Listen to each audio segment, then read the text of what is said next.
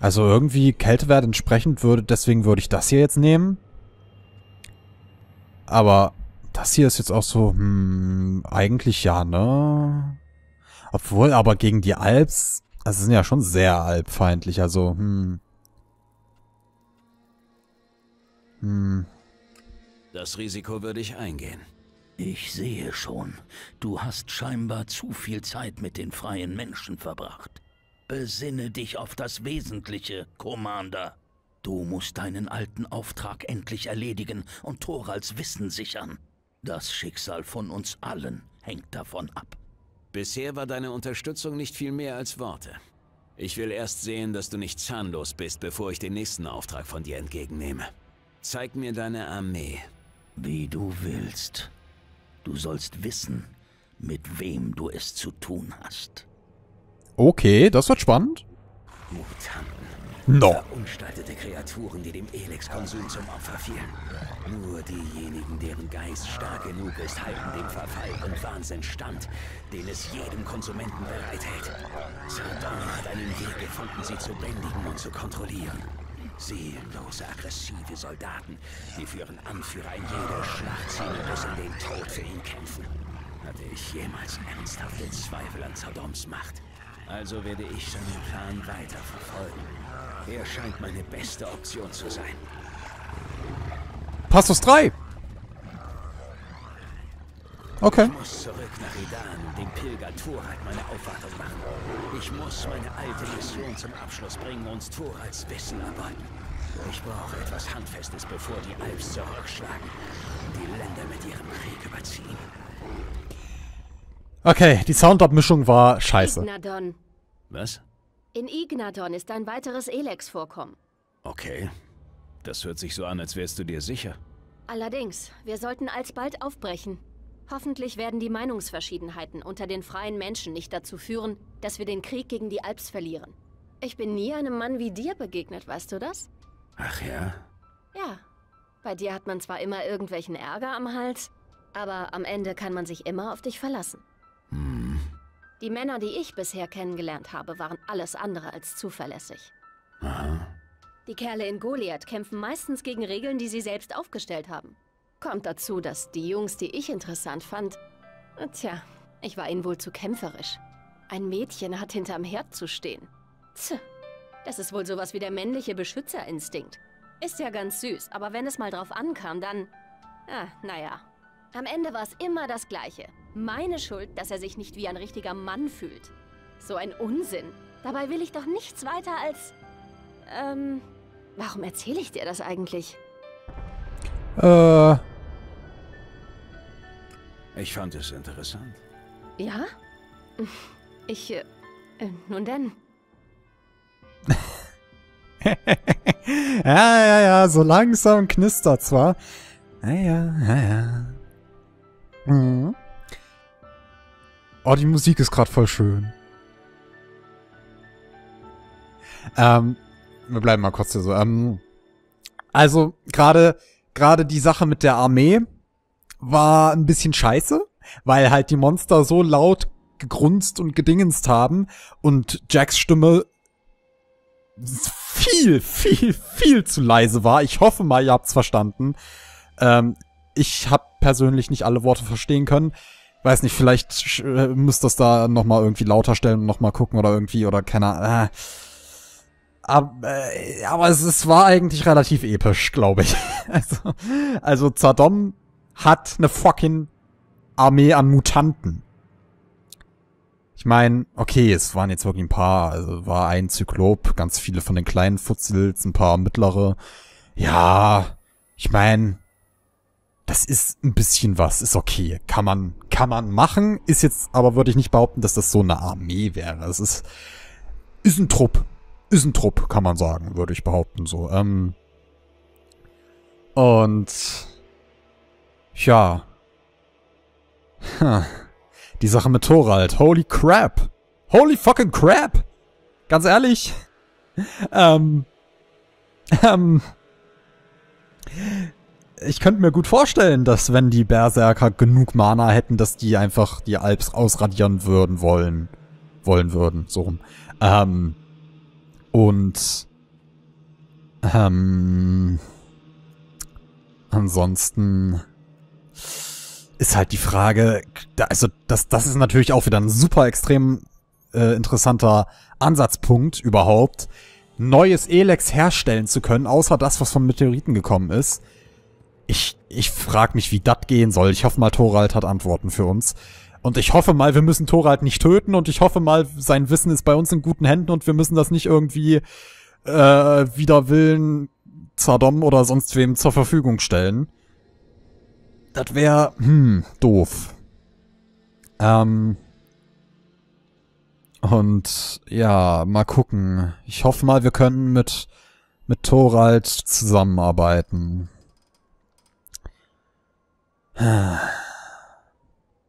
Bin mal gespannt. Also jetzt wird's. Jetzt geht's Schlag auf Schlag, Leute. Also ich werde mal gucken, dass ich, dass ich nicht komplett Quest nach Quest nach Quest mache. Also klar, das jetzt mit Kaya werden wir natürlich machen, aber ähm, ja, sonst. Ähm, boah, vielleicht, also dass wir uns auf jeden Fall im Teil der Verbanden nochmal auf jeden Fall ein bisschen umschauen. Ich meine, das müsste auch da sein, wo Thorald rumgammelt, oder? Kann das sein? Weil ihr meintet ja, irgendwie kommen wir nochmal mit der Quest darunter, also wird das wohl das sein. Ich kann mir jetzt nichts anderes, ne, denken. Und ansonsten... Hm. Okay, das ist überzeugend. Dann geh jetzt und erledige endlich deine alte Mission. Gut. Ja, äh, äh, äh. Ja, okay. Gut, das, damit habe ich jetzt nicht gerechnet, dass da nochmal kurz was kommt. Ähm...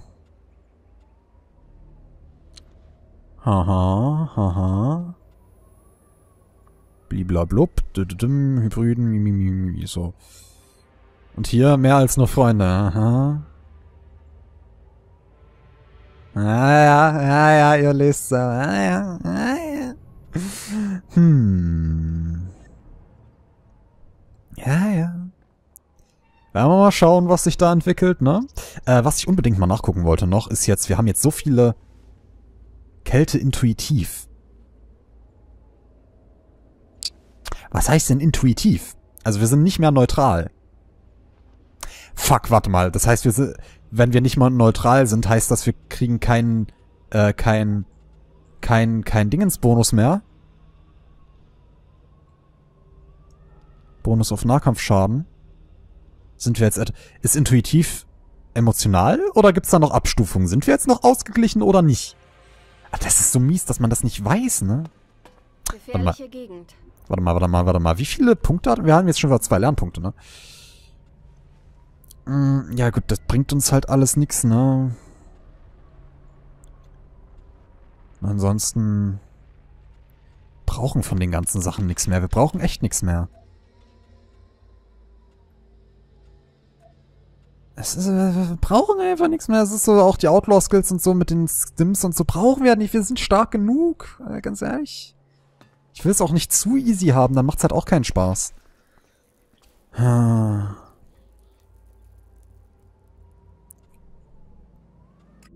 Hm. Oh Mann. Aber ich finde das süß, dass Jax eventuell eine Freundin kriegt. Oh. Ja, wir, wir werden, wir werden noch mal eben ein bisschen schlafen gehen, um unser Leben aufzufüllen und dann... Vielleicht hat ja Lloyd doch noch mal irgendwas zu sagen. Wahrscheinlich nicht, aber ey. Vielleicht haben andere Gefährten jetzt auch noch mal was zu sagen. Neuer Passus und so, ne? Eh. Ähm, soweit ich weiß, ne, Passus 3 dürfte einer der kürzesten sein oder so. Ich weiß, also 2 und 3 oder irgendwie. Ich weiß nicht mehr. Da könnte man sich fast schon niederlassen. Ich habe mal was gehört, aber ich weiß nicht mehr genau, wie das war. Ähm, ist natürlich immer so, der erste Passus ist immer der längste, äh, also, oder erstes Kapitel, hier heißt es ja nur Passus in dem Spiel. Ähm, sonst, äh, hast du irgendwas zu sagen? Dieser Krieg ist eine reine Vernichtung von wertvollen Ressourcen. Echt mal. Wir sollten das Elex für effizientere Aufgaben nutzen, anstatt es auf den Schlachtfeldern zu verschwenden. Richtig. Neue Ausrüstung. Commander. Danke, Crony. Ach, Crony. Bester Freund. Crony ist cooler Typ. Das musste ja schief gehen. Was? Es geht überhaupt nicht schief. Ähm. Was wollte ich denn jetzt noch? Ah, klar doch. Ähm, ähm, ähm, ähm, ähm, von wegen... Äh, ich wollte irgendwas sagen. Was vergessen. Nee, aber wir schauen auf jeden Fall, was mit ihr so wird, ne? Das, das, das, das finde ich interessant, ne? Warum nicht? Und sonst ist halt die Frage, was wir jetzt mit Nasty machen, ne? Weil die, ja, mal gucken. Eh, weiß nicht, sagt ihr irgendwas? Endlich zeigen sich die Eisklötze. Jetzt bloß keine Angst zeigen. Hm, zweimal zeigen im selben Gespräch. Hm. Die Alps sind der Feind. Die Menschen müssen aufpassen, dass sie sich jetzt nicht überrennen lassen. Das ist richtig. Die anderen wahrscheinlich dann auch noch irgendwas Neues zu sagen, kurz, ne? Jetzt ist die Katze aus dem Sack, was? Äh, die Alps meine ich. Turbulente Zeiten, würde ich sagen. Hm, hm. So langsam wird's kritisch. Okay, du... Er sagt einfach gar nichts. Du hast einfach lame. Wir können ja mal hier eben was... Äh, mal nachfragen, wie sieht's denn aus? Du sagtest, die Reaktorspule ist im Eimer. Ja, verdammt. Das Ding hält keine zwei Kilometer mehr durch. Hm, ich weiß, ich hätte sie schon früher auswechseln sollen. Sie hatte mir schon Probleme gemacht, als der Gleiter noch in Betrieb war. Ah. Wo sollen wir denn jetzt eine Reaktorspule X48 herkriegen, hä? Diese Dinger sind verdammt selten. Hey, warte mal. Mir fällt da was ein. In der hinterletzten Ecke, tief im Westen von Edan, gibt es einen größeren Ruinenkomplex. Im Keller von dem Ding gibt es ein altes Wissenschaftslabor. Ich bin früher schon mal da gewesen und habe eine Menge Schrott daraus geholt. Geh mal schauen, ob du da etwas Brauchbares findest. Ich möchte wetten, dass auch eine passende Reaktorspule dabei ist. Geil. Oh mein Gott, gut, dass ich mich nochmal dran erinnert habe, ihn hier zu fragen, wie es läuft, ne? Ähm, geil, dann haben wir zwei Sachen, die wir in Edan jetzt noch machen müssen, beziehungsweise im Tal der Verbannten. Also hinterletzte Ecke im Westen wird ja dann wohl hier sein. Warte mal, Jonesy, alles in Ordnung bei dir? Ja, okay. Ha. Krasser Scheiß, ne? Okay. Okay. Nun denn, speichern wir nochmal und widmen uns mal eben ihrer. Hey, hast du dir schon einmal überlegt, was du machst, wenn das alles hier vorbei ist? Hm, wenn ich ehrlich bin, habe ich bisher eher relativ kurzfristige Pläne. Warum fragst du? Weißt du, ich habe ja mein ganzes Leben lang kämpfen müssen. Auf Magalan kannst du nur überleben, wenn du stark genug bist. Hm. Ja, und man muss sich schon aussuchen, mit wem man befreundet ist. Denn ohne Hilfe von wirklich guten Freunden überlebt man in der Regel nicht lange. Hm. Ähm, ja, und äh, dann stellt sich die Frage, wem man sein Leben anvertraut die nächsten Jahre, meine ich. Nicht wahr? Ähm, ja? Naja, irgendwann wird es eben Zeit, dass, ähm... Hm? Und was hast du dir da vorgestellt? Ach komm schon. Du weißt doch, was ich meine.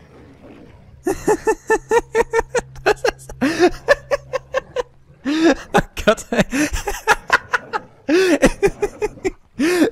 Das bei jedem, nach jedem Scheißsatz von Jax das hm, hm, hm, aha, hä. oh, so voll das verlegene Gespräch, ey.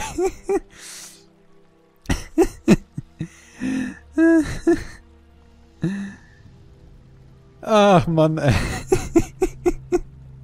Das ist ja schon, ein bisschen peinlich ist es ja schon, ne, aber, äh, ich finde das gerade so gut. Ja, komm, hier, go for it, ne. Ja, und für mich ist es genauso. Wir sind mehr als nur Freunde. Wirklich?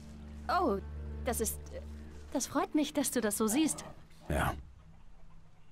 Ähm, ich... Hör zu. Wir sollten in Ruhe darüber sprechen. Am besten ungestört. Ja. Ja, das sollten wir. Ja, okay. Oha, ohne Rüstung. Oh Gott. Ich bin mal still, ne? So, da wären wir. Ja, da wären wir. Du bist unsicher. Aber das brauchst du nicht. Ich, äh, nun, ich bin, äh, ich bin nicht so gut in solchen Sachen. Hm. Ja, ich weiß. Oha. CGI!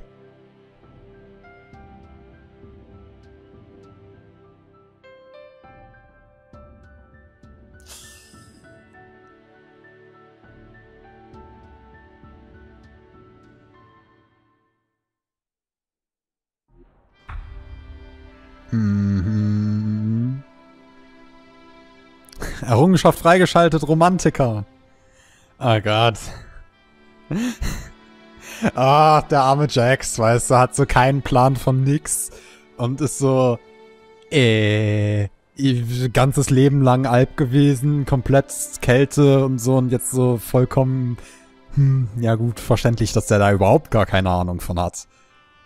Aber, oh, was, was halt wieder so war, war halt, da, da habt ihr schon, okay, es, es sah besser aus als andere Zwischensequenzen. Ich weiß nicht, wie viel CGI extra da noch jetzt bei war. Ähm, aber dann direkt wieder, dass das halt der Arm durch das Halstuch-Ding da so durchklippt, ist halt, ach Leute, ach Leute, das hättet ihr doch... ach, und sie steht auf dem Bett. Ah ja, scheint ja sehr interessant gewesen zu sein. Ah, äh, ja. Das... Oha! Oha, jetzt ist sie wohl so richtig so... Ne? Wer weiß, was jetzt hier gerade abgegangen ist, ne? Ist sie hier wirklich jetzt auf unserem Bett die ganze Zeit? Hm. Hm.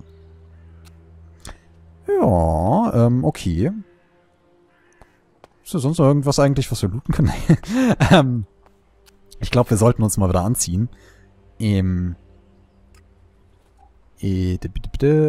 Vollstreckerrüstung. So, guck mal hier. Vollstreckerhose, Vams. Ringe haben wir noch dran, wunderbar. Haben wir überhaupt mal bessere Ringe irgendwie? Nö, ne? Ist alles nichts, was wir unbedingt gebrauchen könnten. Ja. Okay. Haben wir das Schwert angelegt? Ja, Hammer, so. Fehlt ansonsten noch irgendwas? Nee, ne? Ist alles wieder beim Alten. Wunderbar. Ähm, okay. Dann ist jetzt natürlich die Frage, wie lange wird das dauern, was die da... Na, wir, wir gucken mal, dass wir es noch eben hinkriegen. Okay. Schauen wir uns dein Elex in Ignadon mal an. Sehr gut. Ist es das, was ich denke, dass es ist? Mal schauen. Der Krater. Hier ist das Elex erstmals auf dieser Welt erschienen. Der Einschlag des Meteors verteilte es dann überall auf der Welt. Und heute sammeln wir es wieder ein. Nun, es scheint noch genug hier zu sein, dass es sich lohnt, mal einen Blick drauf zu werfen. Sehr gut. Okay. Wir wissen, wo wir hin müssen, also werde ich dir dieses Mal folgen. Es ist irgendwo da vor uns. Irgendwo da vor uns, ja. Und wir sind jetzt gerade genau hier. Interessant, interessant. Ja, hier waren wir ja schon oft genug. Und die Musik gerade wieder, holy crap, ey. Ja, hier waren wir ja schon oft genug. Hier lauern tatsächlich neue Mutanten, ha?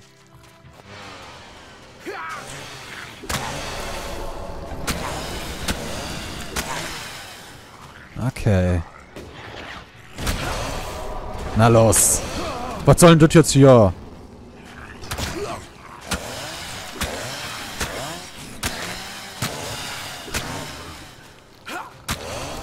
Come on, jetzt hier. Jetzt ist aber auch mal fertig. Bams, Junge.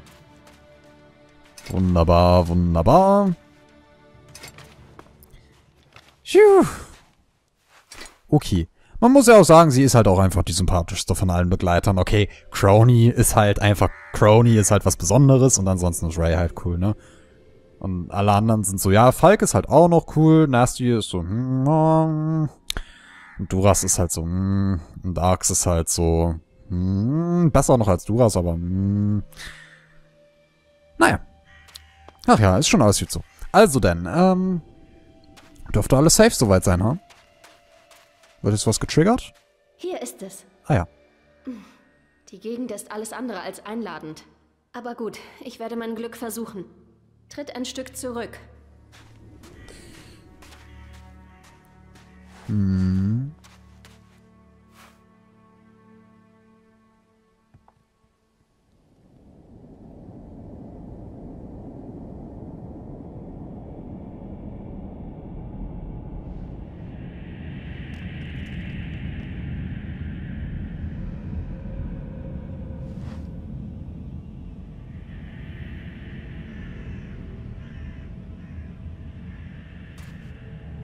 Wo sind denn hier Krähen?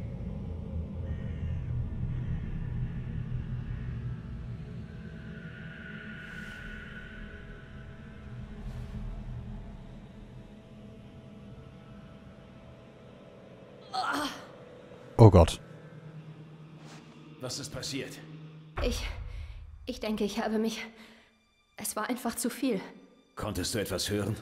Ja, das konnte ich und es ist. Wir sind verloren. Wovon redest du? Wait. da? Was? Der Meteor. Er ist nicht zufällig auf Magalan getroffen. Das Elex selbst hat ihm seinen Weg zu uns hierher gewiesen. Es hat etwas vor. Es hat einen Plan. Es will uns auf etwas Großes vorbereiten. Vorbereiten? Auf was? Ich kann es dir nicht sagen. Aber ich fürchte, es wird unsere Welt verändern. So wie es das Elex ohnehin schon getan hat? Nein, nein. Das ist etwas anderes. Das, was noch kommen wird, wird viel weitreichender sein. Das Elex sprach von seinen Herren. Und dass sie es sind, die unsere Welt eines Tages übernehmen und auf ihre Bedürfnisse anpassen werden. Äh. Die Herren des Elex? Wer sind sie? Wo sind sie? Was wollen sie? Ich kann dir nur sagen, was das Elex mir gesagt hat. Und das war nicht besonders viel. Aber sollte es diese Herren des Elex wirklich geben, und sind sie auch tatsächlich so mächtig, dann erfahren wir es früh genug. Spätestens dann, wenn sie sich offenbaren. Wer weiß, was die Zukunft dann für uns bereithält. Du glaubst also, dass uns vielleicht ein noch größerer Krieg bevorsteht als der, in dem wir gerade stecken? Ich weiß es nicht. Wann wird das passieren? Schwer zu sagen. Da war das Elex nicht ganz eindeutig. Das ist nicht gerade viel. Tut mir leid. Mehr kann ich dir zum jetzigen Zeitpunkt nicht sagen. Hoffen wir das Beste. Hm. Naja, das ist schon. Holy fucking shit. Ähm, okay. Okay. Die Herren des Elex heißt Aliens? Außerirdische? Heißt. Es gibt eine, eine Spezies im Weltraum, die das Elex komplett beherrscht. Die, keine Ahnung, wie die genau in Verbindung stehen. Heißt das jetzt, das Elex hat selbst ein Bewusstsein oder ist das das. Ja, nee, doch, das Elex hat trotzdem selbst ein Bewusstsein und das Elex warnt uns jetzt davor. Also das Elex bereitet uns jetzt auf die Invasion von den Aliens vor oder oder oder oder ist das nur ein Vorbote und eigentlich nicht für uns als gut gedacht? Und warum ja, hieß das jetzt Verlust der Menschlichkeit? Das ist ja auch scheiße. Okay, also irgendeine außerirdische Rasse, die den Planeten für sich nutzen will, weil wahrscheinlich ihr eigener Planet wahrscheinlich. Oh Gott, das könnte so deep gehen. Holy crap. Ähm, ich gehe mal davon aus, dass das Foreshadowing auf Elex 2 ist. Ach du Scheiße. Wegen der Elex-Nebenwirkungen. Ja? Ich habe hier pures Mana für dich. Vielen Dank, das hilft mir sehr. Sehr gut. Ach so, ah ja, okay, gut, das war nur das wieder. Okay, wunderbar. Ähm. Hast du erreicht, was du wolltest? Ja, eigentlich schon. Das heißt aber nicht, dass es mir gefällt. Viele Erkenntnisse über die Dinge, wie das Elex unsere Welt verändert, sind überwältigend und sehr mächtig. Ich kann jetzt viel klarer sehen und habe verstanden, wie das Elex wirklich funktioniert. Es lässt mich jetzt Dinge tun, von denen ich vor ein paar Tagen nur hätte träumen können. Und trotzdem hinterlassen mich diese Erkenntnisse mit einem sehr beklommenen Gefühl der Ohnmacht.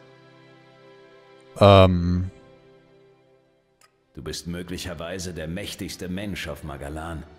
Und du fühlst dich ohnmächtig? Ich bin nichts Besonderes, wie ich es vielleicht immer gedacht habe. Ich musste erkennen, dass ich bestenfalls nur einer Laune der Natur gleichkomme. Dem Elex und denjenigen, die es kontrollieren, gehört die Zukunft. Denn das Elex gehorcht jedem, der Zugang zu ihm findet. Das ist seine Natur. Es ist weder gut noch böse, es hat keine Skrupel oder Emotionen. Es wurde erschaffen, um zu dienen. Wer am Ende entscheidet, was mit dem Elex geschieht, entscheidet über das Schicksal unserer Welt. Und ich habe Angst davor. Nicht schlecht. Okay. Verstehe. Das ist kranker Scheiß. Das ist richtig kranker Scheiß. Okay, ich glaube, mehr gibt's nicht zu sagen. Wie geht es dir? Mir geht's gut. Ich hoffe dir auch. Du weißt, dass ich dich liebe, oder? Ja. Hm. Ich wollte es nur noch einmal gesagt haben. Hm. Gut. Hätten wir das auch geklärt, Leute.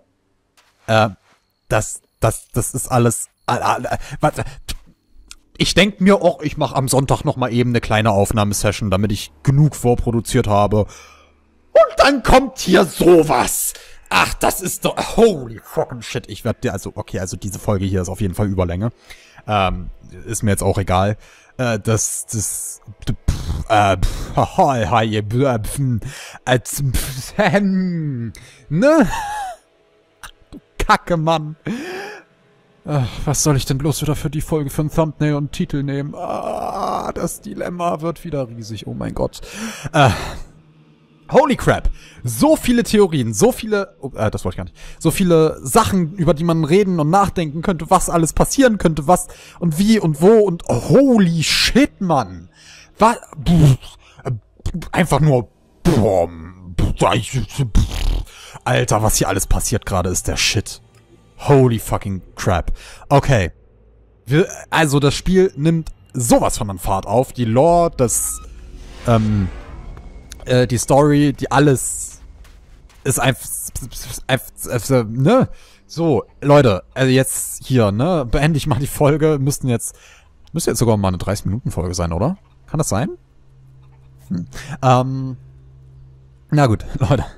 Ich würde mal sagen, wenn es euch gefallen hat, dann lasst doch ein Like da. Wenn nicht, dann nicht. Schreibt in die Kommentare, was ihr zu dem ganzen Zeug sagt, was ihr davon haltet und wie auch immer. Und ähm, dann sehen wir uns beim nächsten Mal wieder.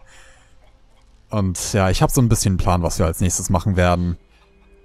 Bis dahin, wie immer jeden Tag 17 Uhr. Bis morgen. Ciao, Leute!